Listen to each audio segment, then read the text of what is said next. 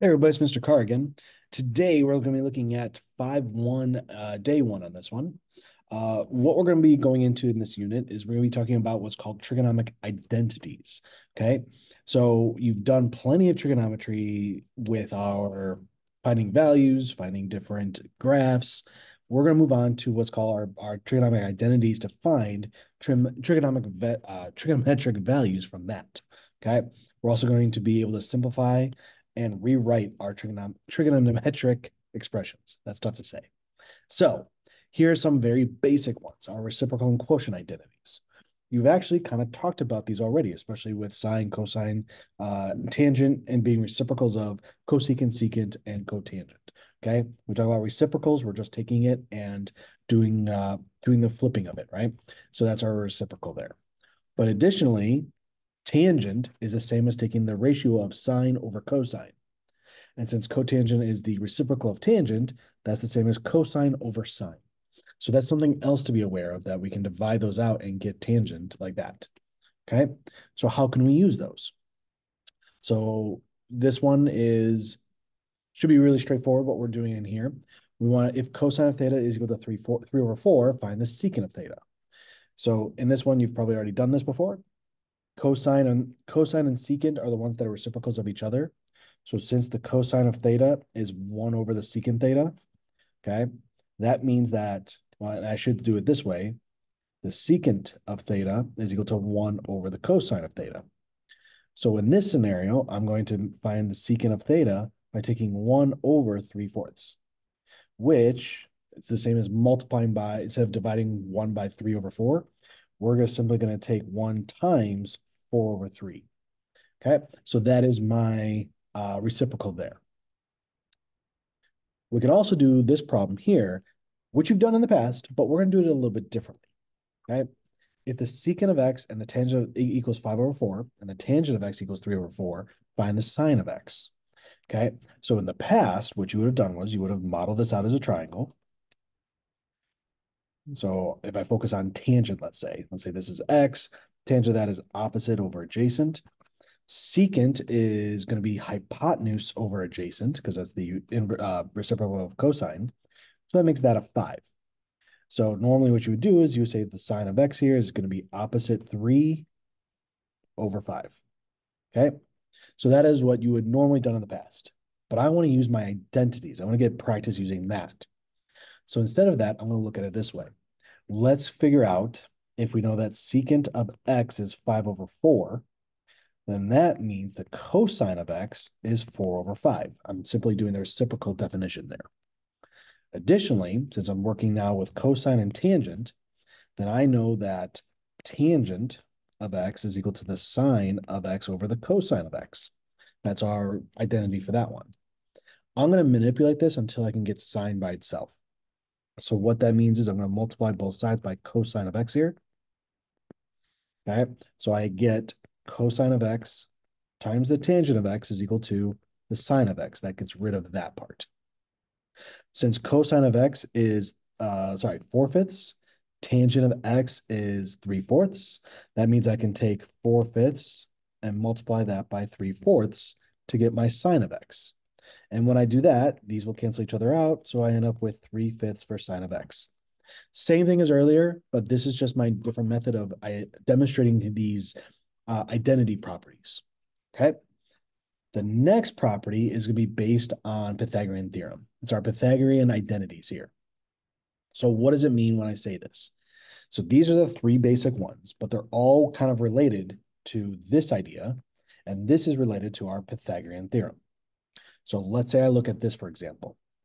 First of all, going back to what we did before, we know that if this radius is one for like a unit circle, the sine of theta here, okay, the sine of theta is equal to y divided by one, or in this case, just y. The cosine of theta is x over one in this, in this specific scenario. Well, but we also know that if we have a right triangle like this, we're modeling that, then that means I can do x squared plus y squared is equal to 1 squared. Okay? So instead of having a 1 squared, obviously that's just 1. But the big key here is instead of x squared, I'm going to replace that with cosine, and I'm going to replace y with sine. So we're going to plug those in and we're going to get cosine of theta squared plus sine of theta squared is equal to 1.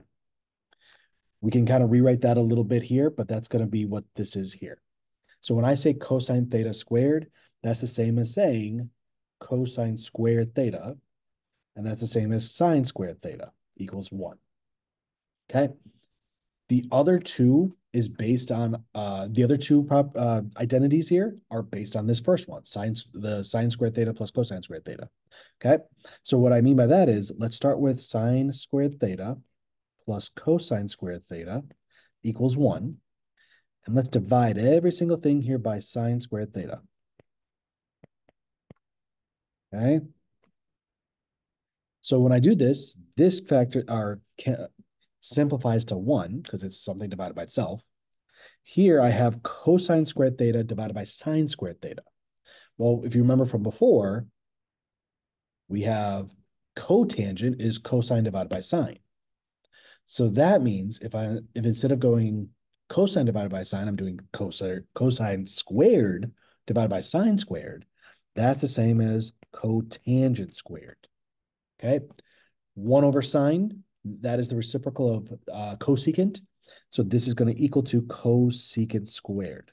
And this is this version right there. We do the same exact kind of work. If I start with my initial one, sine squared theta plus cosine squared theta equals 1 here. Okay. From here, I'm going to uh, divide everything by cosine squared. Okay, and when I do that, I've got sine squared over cosine squared. That is going to be the same as tangent squared theta. These will turn into a 1, and 1 divided by cosine squared is going to be secant squared theta. So that's where all three of these Pythagorean identities come from. Okay, so how can we use that? So on our first case here, we want to find cotangent of theta equals 2, and, the, and cosine of theta is less than 0. Okay, find the sine of theta and the cosine of theta. So again, you would have done this in a different way in the past, but for our purposes, I want to set this up using our identities. Since I'm dealing with cotangent, I'm going to look at my cotangent squared theta. Okay. So the first thing I can do is I can take uh, cotangent squared. So I can take cotangent squared theta. That is going to be, if I cotangent theta is 2, that's the same as saying that this is 2 squared plus 1 equals cosecant squared. Okay. So that's 4 plus 1 equals cosecant squared. 5 equals cosecant squared. And then I could square root both sides here. So I get plus or minus square root of 5 is equal to cosecant of theta. Okay.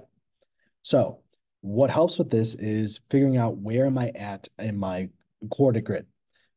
So what I mean by that is we have cotangent is being positive. So remember, all students take calculus. Tangent is going to be positive here and here. But it also tells us that cosine of theta is less than zero. So when it's cosine negative, but tangent's positive, it's going to be in this quadrant out here. So that's what I'm working with here.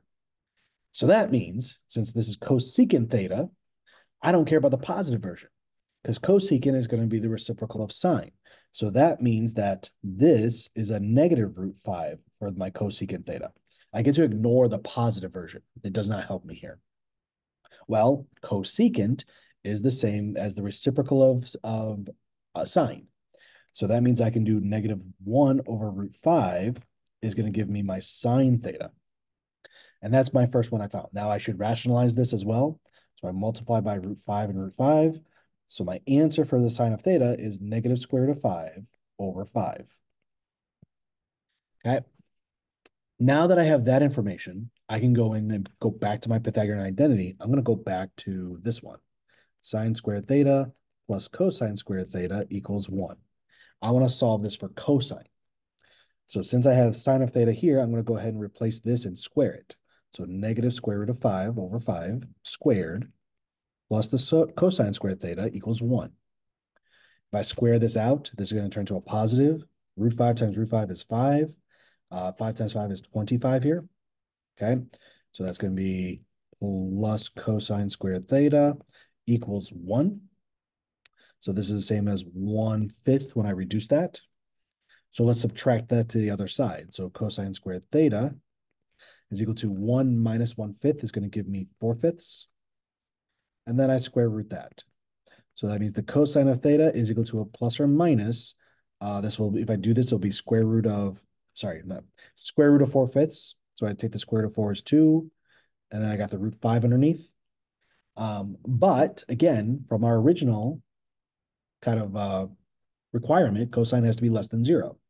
So I don't care about the positive version. So the cosine of theta will be a negative two over root five, meaning I'm just going to go ahead and rationalize that. So I get a negative two root five over five. And that's my final answer here. And again, you would have done this problem before. You just done would have done it in different methods. I want to purposely use our Pythagorean identities in this case. Okay. We're going to keep going with more, especially the Pythagorean identities and how to use that to simplify certain expressions. For now, these are our basic versions. So that's just our introduction. So that's going to be it for today. All right. Take care, everyone.